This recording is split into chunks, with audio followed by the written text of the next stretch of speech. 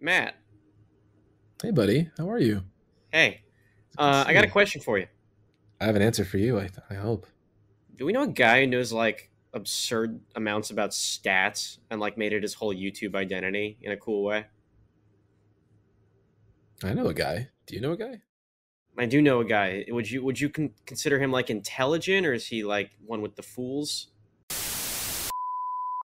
I think you know 2001 to 2004 is statistically the best run any professional baseball player has ever had. Period.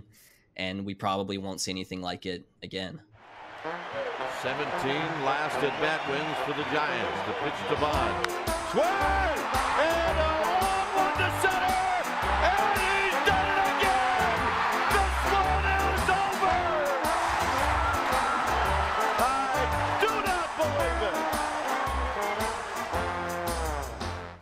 So, uh, I want to give you a little bit of a life update. All right. So, I'm in a really good mood. Let me just say that. All right. Knicks got to represent. They won nine straight today. Got some froyo. Wow. I got some froyo. I'm gonna pick at. It's orange, like Giants. Uh, I have no idea what that is.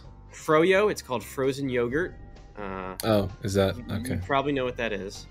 I do. Yogurt yeah. if it was frozen, Mhm. uh, like ice cream. Wow. However, while while being in such good spirits, I, I kind of realized that we screwed up pretty royally in the first episode. do tell.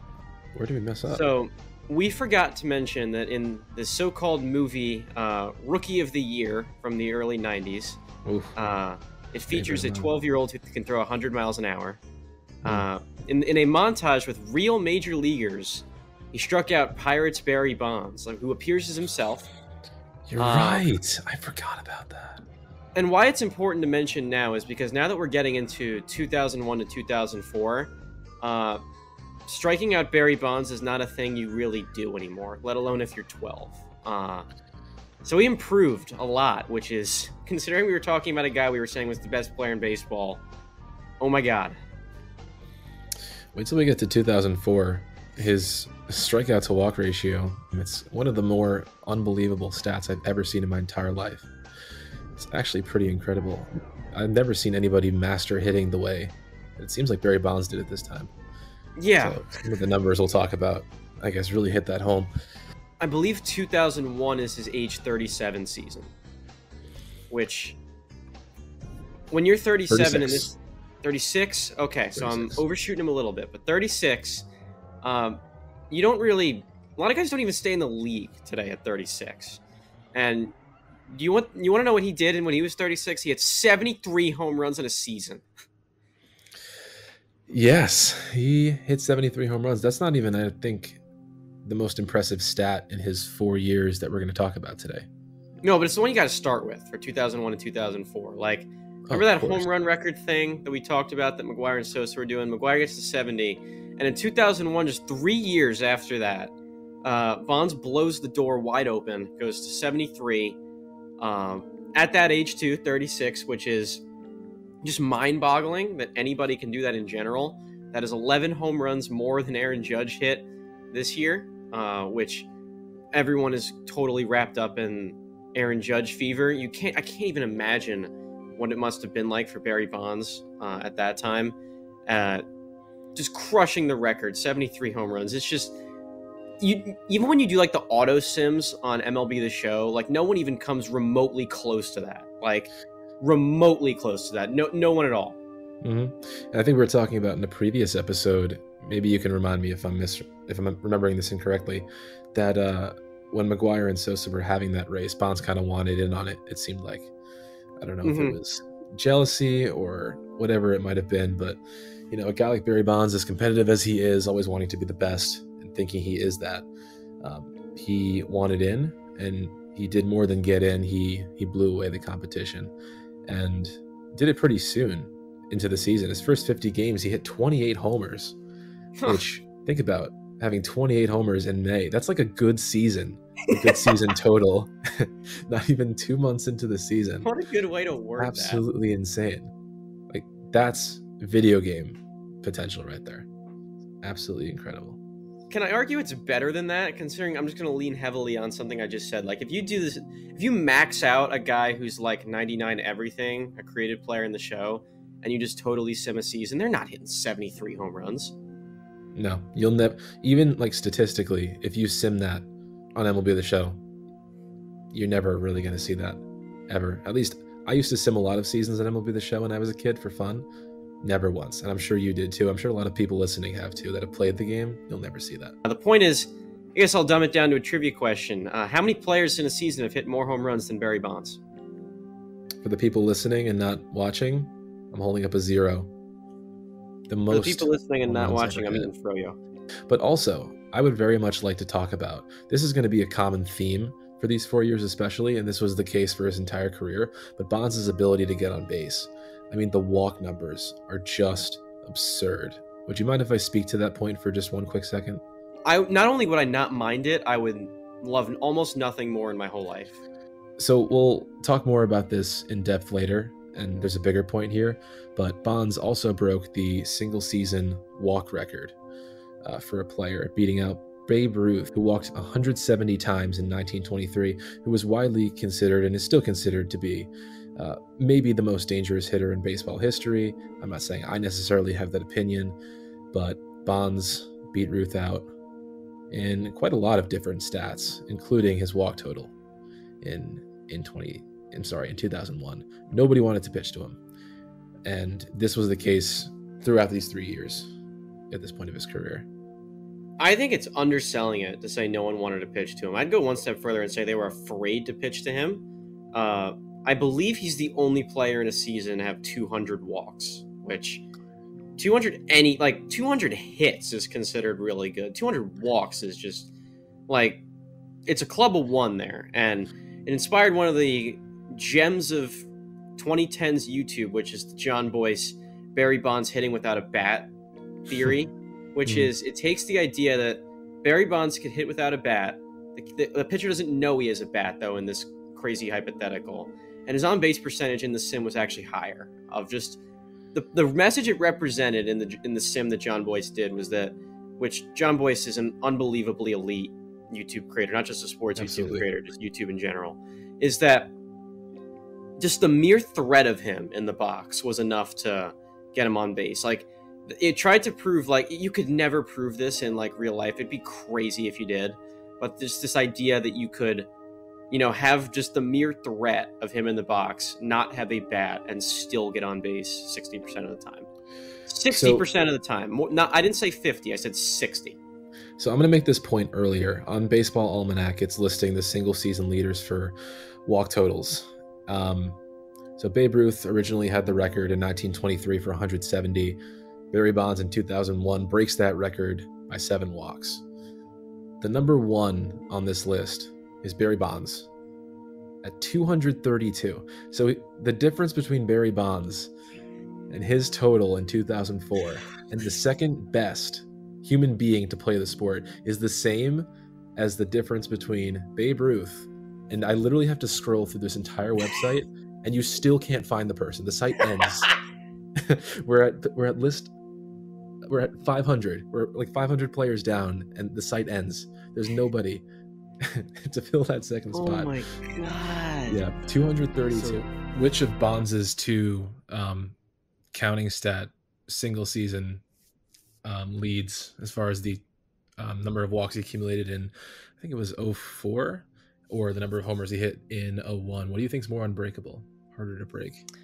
I would I would have to say it's probably the walks. A big part of that is he had 120 intentional walks that season, and you just don't see teams intentionally walk anyone to anywhere near that degree. Even if Barry Bonds, prime Barry Bonds, were to appear in Major League Baseball today, he would not get intentionally walked that often.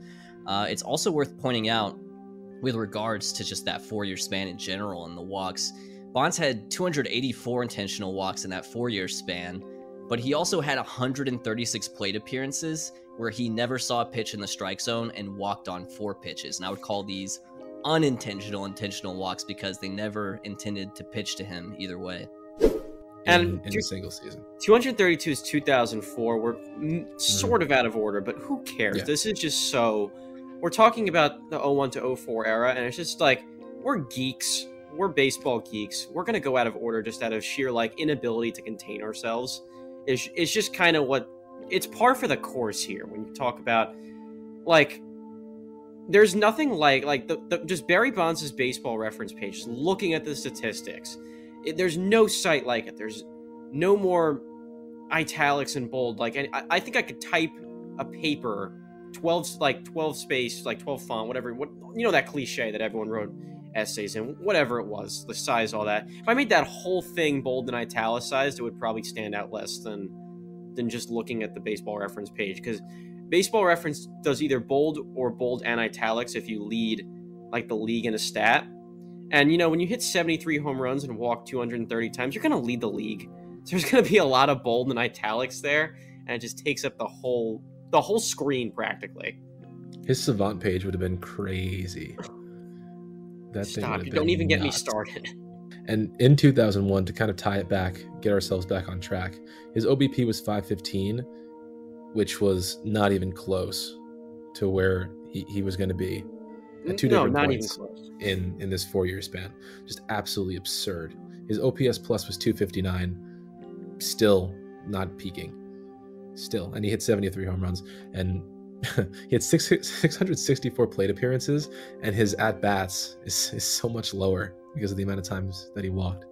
I've never seen just such a stark difference between someone's plate appearances and, and at bat totals. Just absolutely crazy. But actually, before we move any forward, it's kind of crazy how we've already been talking about 2001 bonds for I don't know, like 10 minutes at this point. i told you this would be enough Well, the the point though is that he hit 73 home runs, which is kind of like one of the crazier things that have ever happened in the sport. And we still haven't really even talked about that. We've been talking about everything else, his walks, his on-base percentage, his ability to hit the ball in general, and we're, we still haven't touched on, you know, the most one of the most incredible feats of strength in the history of the sport. And I don't think the Giants made the playoffs that year, tying back into a point we talked about last time. One team or one player is not going to carry a team to the playoffs in baseball. That's just the way it works. They did not make the playoffs having a, the record for single season home runs by one player. And, uh, you know, we haven't said this in a little while. He won the MVP in 2001. If it went to anybody else, like, you might as well have, like, melted down the trophy and have it have no value anymore because you are now outdoing getting on base more than 51% of the time, which you just don't do, and 73 home runs, which you don't even dream about. And it's not even his best season, in my opinion, of these four. If you look at the single season OPS plus leaderboard, Barry Bonds put together the best, second best, and 10th best single season OPS plus in the history of the National and American Leagues in 2001, 2002, 2003, 2004. Yeah, we touched on that earlier. Just the 73 home runs, the OPS plus record, and the OBP record are three different seasons.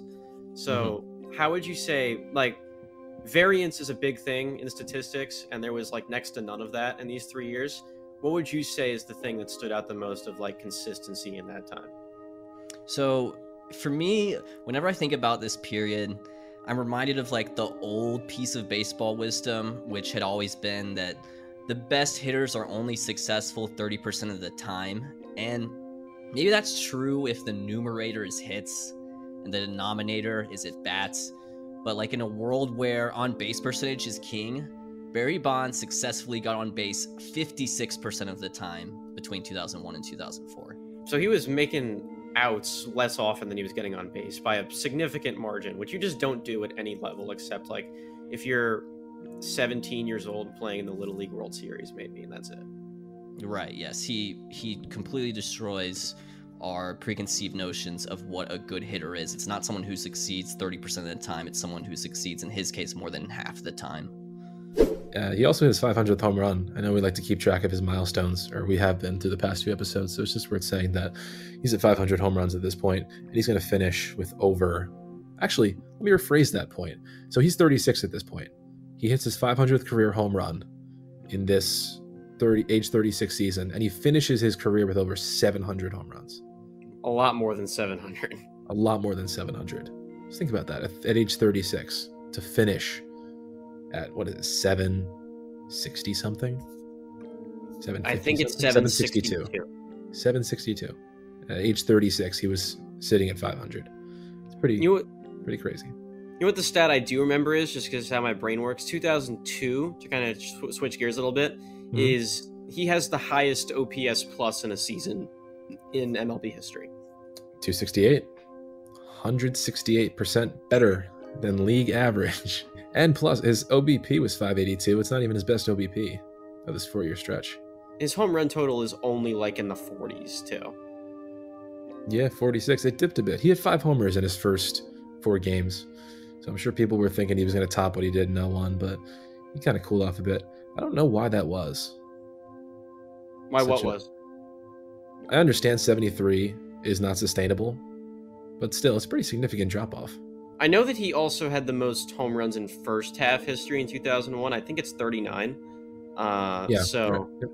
It's uh, maybe unsustainable is maybe not the word. It's just more of like he got to say he got hot is like really underselling it. Like whatever the hot is that like melts planets is probably what he was up to, just for a little bit. And I guess the mathematical term or statistical term is unsustainable, but I think it's a lot more simple than that. Like this man just kind of got the fear of God put in everybody, and when he did swing, it would just go into you know that body of water out there in right field in San Francisco.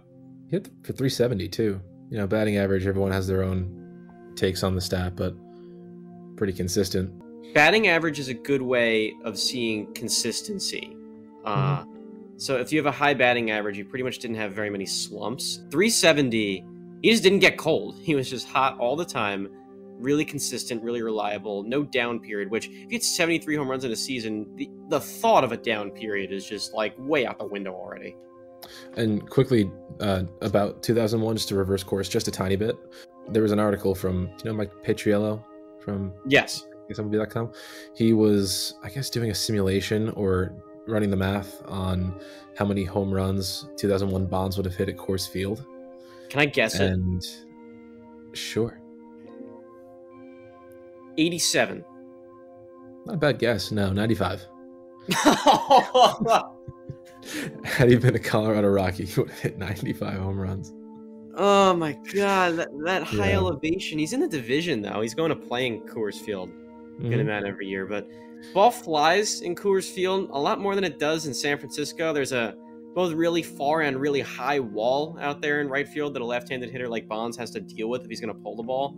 Uh, and in Colorado, that ball is flying. Whatever is like the step above flying is probably what's happening to that ball. Uh, and it's just like, look at us, like totally geeked up thinking about this. and it earned him uh, a pretty bit nice contract with the Giants in 2002. I don't know if it was a contract extension or if he resigned. I think he resigned. Um, but yeah, five five years, 90 mil at age 37. You know, the Giants were taking a flyer on this guy at 37. I mean, not to blame them. The guy hit 73 home runs as a 36 year old. I think you could take a flyer on him. And So- here's the thing: in 2002, it it worked. Not only did he break the OPS plus record, I can't believe I'm going to say this with all the buildup we talked about. Barry Bonds played in the World Series. He was fantastic in the playoffs. I think he Oh. like three, 322. He set the home run record and the walk record because, of course, he did in a single postseason at that time. The home run record has since been broken. Randy Arozarena has it now. Uh, but put yourself in 2002 headspace. If there's things Barry Bonds does, it's break home run records and break walk records. And uh, he did both of those in the 2002 postseason, where he kind of put the Giants on his back. Finally, we've been talking about you know these near misses for Bonds for who knows how long. This is the year they finally break out. They they win the division series uh, in five. Then they win the NLCS in five to go to the World Series. They go play the Angels. Uh, in that 2002 World Series game two, he hits one of the longest balls probably ever hit. I remember Foolish Baseball talking about it in his Bonds and Four video that the scoreboard like graphic on the TV changes before the ball even lands. You can see Tim Salmon mouthing, "That's the farthest ball that's I've ever seen hit." But in the game and in the series, they still did lose. you think it was mental? Like, do you think that, you know, Bonds now being this behemoth, this titan, coming off the heels of 2001, he can kind of, you know, he has that confidence now. I know he was really, really good uh, even when he struggled in the playoffs. But like this is a different Barry Bonds than, Uh, than he was. It could be. I think that. I mean, I don't have the ability to like read his mind, especially read his mind 21 years pretty much after this happened. yeah. Uh, I I think maybe that there's a good possibility of that, just from like what I'm gonna educated guess this thing. Uh, what I do know is that that point we made earlier of you know, no one player can do it himself. Barry Bonds probably came the closest, like in a single World Series, and they still lost. They had a three games to two lead going to Anaheim uh, for Game Six and Seven. They lose them both. They were one one win away. Really did come close. They kind of tasted it for a little bit, uh, and they didn't come through. I checked before we were here. Bonds had an okay Game Seven. He went one for three with a walk. Uh, but that wasn't going to cut it. The Angels hoisted the trophy. Giants went home sad. One of the coolest things about the 02 World Series has nothing to do with Bonds, though, which is Kenny Lofton hits an extra base hit off the wall in San Francisco, and JT Snow is the lead runner. He comes in and scores, and manager Dusty Baker's bat boy is his son, who is about two years old. Mm. Uh, Matt made a face for those in the audio only that he knows what I'm talking about, where a grown man almost barrels over a child uh, who's trying to pick up a bat. Instead, he picks him up. There's this really cute embrace that was all over the point, like all over the or the place. Uh, misspoke there for a sec, but uh, why I bring this up is I was watching a spring training game a couple days ago, and that kid is like a professional baseball player now. It is nuts to me how time flies. Who's he playing for? He's in the Nationals organization. Who the Nationals were not a baseball team when that incident took place. And that was, uh, correct me if I'm wrong, Dusty managed the, the Nationals, right? He did. He's he's with Houston now. Yeah. Uh, Mhm. I remember there was a big thing when Houston played Washington in a spring training game. They share a facility in West Mhm. Palm Beach, Florida. You and I were Uh, there. We were there. We watched a fellow YouTuber by the name of Five Points Fids totally wipe out trying to get a home run ball. uh, unbelievable times, but that's neither here nor there. I do remember just to close that thought though that the Nats manager Davey Martinez promised Dusty he'd get him in the game, but there was another surprise that he delivered the lineup card to his father uh, and with the umpires at home plate. So it's just so nuts how time flies. Is kind of the point I was going to make. That that happened in 2002. Everybody remembers that. You see that clip when you're a kid all the time, and now Mhm. now he's you know a profession, a paid professional. That's incredible. I've never felt older in my life. Oh, and uh, Barry Bonds won the MVP in 2002 because, of course, he did. If you have a 268 OPS plus uh, among stats they knew about at the time, I bet you nobody knew what OPS plus was in 2002. Uh, you were not giving that award to anybody else. No, so that was let's let's count them up. So now 2001 MVP, 2002 MVP, 2000 he finishes runner up. He already has three at this point, so now he's at five. He could have been at seven if not for a couple votes here and there. No one else has five. I think. I No. think. I don't. I don't. Uh, maybe one person. No, I think it's three. I think three is the second best. Let me look that up. So that means he broke. That means if you- like you cut, you cut Three. all of, you cut his MVPs off in 1993, and no one's touching them. Yep. And then he goes up and he wins. Spoiler alert: four consecutive MVPs from 2001 to 2004. Finishes his career with seven. So 2003 was really good too. Is it really like is that the simplest way to boil it down? Um, yeah. So I guess frame it this way: it was his worst season of the three seasons, and he hit 45 home runs. He OPS plus 231. he had one of the best OPS pluses in the history of the sport, and it was probably by far his worst one of the four years. Uh, he had a batting average of 341 and on base percentage of 529, one of the best of all time. That was significantly less than 2002 and 2004. Um, he struck out 58 times and walked 148 times, which is pretty darn good, if you ask me. And back to 2002, he walked 47 times. I'm sorry, struck out 47 times and walked almost 200 times. That's something we forgot to touch on. Is he still stealing bases in this time too? Um, I was thinking about that before. Actually, not really. He had nine in 02, seven, not 03, but for for a 36, 37 year old, I think that's pretty good. And you're hitting 46, and a guy his homers. size too. That's a big boy. I mean, this is also juiced up Barry Bonds. You know, he's got a little more weight on him. I would think. Maybe we can look at the numbers, but Let me tell you this. So my dad told me this story a while ago. So one year, my dad got like he won something where he got to be in like he got to shadow like the field reporter guy for the Mets uh, one year. It was in 2003 uh, on his birthday, and the Giants were there at Shea Stadium. So he sh- he shadowed this guy. He, they went into the visiting clubhouse, and from Oh. probably 100 150 feet away, he sees Mr. Barry Bonds, and my dad is like, "I've never seen bigger shoulders in my life." And then Bonds hit two home runs, and the Mets won the game. So a pretty good day for our fan. Hey, Mr. Stats, do you think you could give us a little bit of a rundown on Barry Bonds' WAR each of these three years? You you can pick Baseball Reference, Fangraphs. The numbers are still going to pop off. So 2000. Wow, I'm actually seeing these for the first time, and I'm I'm actually getting starstruck live on air. Uh, so 2001, Barry Bonds posts 12 and a half F WAR. 2002, he posts. Oh, jeez. wow. Sorry, I'm getting carried away. Uh, 2002, he posts. he posts 12.7 F WAR. Uh, 2003, he posts 10.2. And then in 2004, he posts 11.9. Wow. See, there's like nobody in our lifetimes other than Barry Bonds who's like come to that level at all. No, like I for- think Aaron Judge was in the was in the 11 F WAR range this year. Aaron Hmm. Judge comes up a lot because Aaron Judge, while being a, a massive fan of Barry Bonds, growing up in the, the Bay Area, uh, he's a guy who is both the closest thing to Barry Bonds we've probably seen, like for that one year of the 62 home runs this year, probably the closest thing we've gotten since.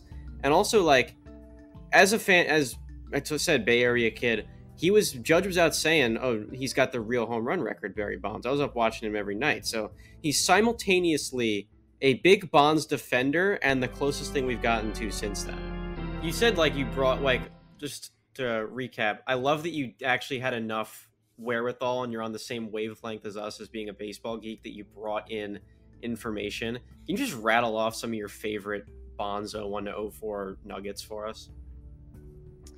Uh, so Aaron Judge broke 11 F WAR in 2022. It was a big deal. It was the first time anyone had done that since Barry Bonds. But Barry Bonds averaged close to 12 F WAR per season from 2001 to 2004. Like that was his average. Aaron Judge, people were talking about the walks, pitching around him. Aaron Judge just hit 62 home runs while walking 16% of the time. In 2001, Barry Bonds hit 73 home runs while playing in a pitcher's park and walking 27% of the time. Do you think that like you bring up 12 war kind of feels really low for the impact you're doing there of getting on base more than half the time, hitting consistently home runs in the 40s, getting to the 70s uh, in a year, uh, shattering every rate stat record known to man too. Do you think that like like the people who made war almost didn't understand what they were getting into with Bonds because it feels really light to say he won them only 12 games.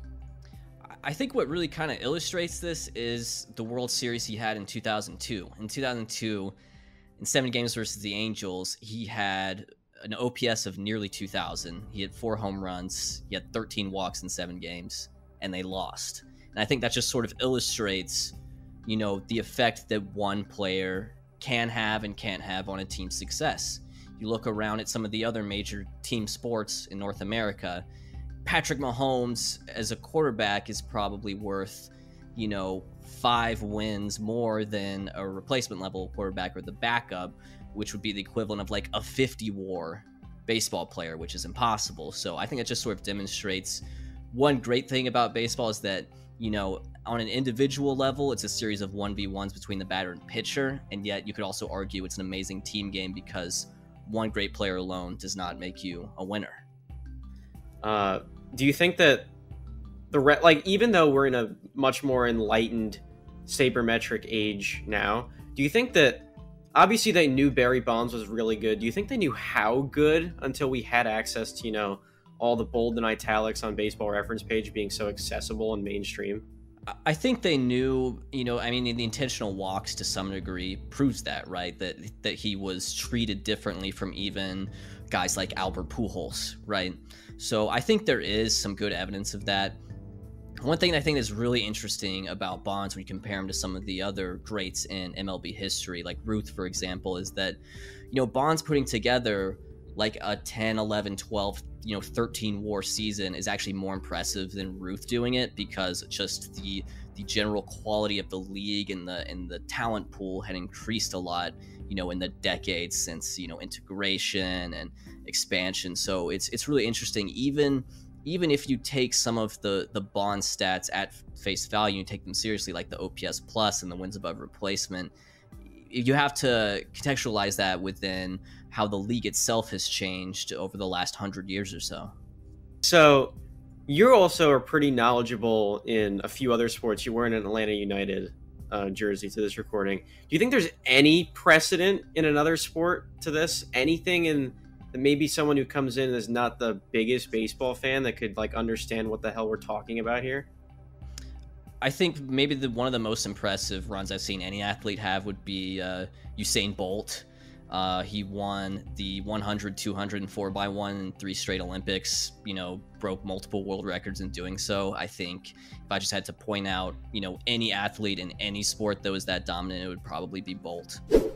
And for reference, for people that might not know um, Barry Bonds all that well. Mike Trout, who you know everyone deems at least the last few years, especially pre-Shohei, as the best player in baseball, one of the best players ever. His best career F WAR was 10.2, significantly less than Barry's best at, from ages 36 through 39. So just for reference, he's well ahead of Mike Trout's best at this point of his career in terms of F WAR. That those weren't flukes. The F WAR, the each of those those years, he just kept doing it. Yep. Uh, but what was a fluke is you know that winning in the postseason thing. Uh, they got trounced by the Marlins into the 2003 National League Division Series, uh, back from whence they came uh, as soon as possible again. The Division Series is 97, which I think is the previous episode because that's a Giants year. Oh, so I, I, I pretty much got most of that statement wrong. So thank you. You're making me laugh more than I've laughed in a really long time. I'm funny after dark, man. This is the after dark episode. I also like to change my background every episode. This is the third location I've recorded in, in as many episodes, so I'm keeping it interesting. I refuse I, to stay in the same spot at this point. Even if it's convenient for me to stay, I'll go somewhere else. I'll record from my car. Get it? The start of 2004. Uh, we've already covered that the book closed on 03 with a loss and an MVP because, of course, it did. That's Barry Bonds we're talking about. Uh, in 2002, Bonds went to Japan on one of those MLB uh, All Star tours where they kind of get a group of MLB players together to go to Japan, play some exhibitions, do cool stuff. Bonds does a home run derby out there, and it's a great uh, little bonus nugget for him. But the real thing that you got to talk about is the thing that everyone uh, still knows about that trip is that he made kind of a gentleman's agreement with a relief pitcher by the name of Eric Gagne, who at this time is kind of reliever Barry Bonds. He is on steroids and he is posting numbers that will just like have you have you think that he's like a Martian or something. Uh, and he's on the Dodgers, arch rival of the Giants. And Bonds is kind of venting about what we were talking about to him that just no one wants to pitch to him. And they come to an agreement that if there's a situation where they face each other and Bonds cannot win the game, he will face him. And boy, did they face. They came to a, the compromise that was made is Gagne gets one off speed pitch, the whole at bat. And he gets down 0 2, Barry Bonds. He throws kind of this perfect curveball, Gagne, uh, in the ninth inning of a game where he's facing him uh, in a 3 three run lead, runner on first. So Bonds cannot win the game. It's kind of gentleman's agreement is in play. They're going to face each other. And he throws him a curveball 0 2 that's like 20 plus miles an hour slower than the fastball and he just like stares at it and it's a it's it's nearly a perfect pitch it's like you could see if you watch the clip it's as close to a strike as you could get without being a strike and being like that it's not a bad call per se Uh, and Bonds just like he stands his ground. It's unbelievable. Like it almost defies physics. That He doesn't react to it, like how what the human eye can perceive. And then because he uses the off-speed pitch, it's mano y mano. He's throwing fastballs at 100, 101. Bonds knows they're coming. He's early on 100 and 101, fouling him off. Uh, works it up a little bit, and then he hits a home run uh, to the deepest part of the ballpark, practically, because he's Barry Bonds in 2004. It's one of the most impressive or most entertaining at bats, probably in Major League history. One of the biggest examples or most notable examples of immovable object, unstoppable force. And Absolutely. Of course, as he does in essentially every scenario on a baseball field, Bonds comes out on top. So, what was your? We have a, a in-depth section about this in the video. What was your favorite part about that at bat? I like when he hits the long foul ball because that shows that he's like locked in and he's just like he's like this robot that's just calibrating in on the pitch. The thing though that is crazy is that while you said Barry Bonds comes out on top, the Giants don't, and that's kind of the theme here, is that they still lose this game. They they lost the intentional walk with the bases loaded game. They lose the magical at bat game uh, against Gagne. It's considered one of the most entertaining at bats ever, one of the most fun because Eric Gagne was so good as a relief pitcher that he won the Cy Young Award. So as a closer, he won the best pitcher in the National League. Very early in the next season, he's facing Bonds. They're both at like their absolute apexes. Uh, and what I want to put the thought into your head now imagine that with a pitch clock. All that tension is kind of like I'm extremely, and I mean extremely pro pitch clock, seeing mm-hmm. how it's been in action so far. But I will say that to take away the tension of that at bat, a pitch clock is kind of the worst thing you could implement. It's interesting. I actually, I don't think I spoke to you about this, but I actually spoke to three of the people in charge with making that rule the other day. Ooh. Yeah, they had some interesting thoughts about it. I, for one, am a fan of it, but something that I did tell them was that um, there there should be some tweaks that change the rules depending on the situation. And they kind of have those in play, but I don't think it's it's as well developed as it should be because you lose out on on certain situations like that and mm-hmm. i think that actually really helps in, in, those kinds of situations for for fan engagement and for you know savoring the moment especially when the uh the situation is that that special you kind of lose that with the pitch clock but in general i think it is a good thing that it, well said that it's there yeah so do you want to give kind of the you know, nuts and bolts of the 2004 Barry Bonds stats. Quite possibly the greatest year any human has had playing baseball. Sure. So we've spoken at this point, I don't know, over an hour about how incredibly good Barry Bonds has been. And it seems like it's been one step up after the next. But this is the peak of Barry Bonds. This is the peak of the human male, essentially, in terms of athletic performance. And the stats that this guy puts up this season are insurmountable. I don't think they'll ever be repeated. Just to read off some of them, he wins his second batting title at 362. Pretty basic, especially for Barry. A 609 on base percentage. I believe that's the highest of all time. I think so. Yes, it is unquestionably the highest. Far and away, right? Yeah. 812 slugging. 1.4 OPS a 263 OPS plus, not quite the 268, but still pretty damn good if I do say so myself. And what's the most eye popping stat to me, one of the most eye popping stats in all of the history of baseball 41 strikeouts, 232 walks, the most ever in a single season. He wins his fourth consecutive MVP. He wins his seventh of his career. He is currently 39 years old. This 39 year old man is putting up the, one of the greatest single seasons in the history of sports on this planet.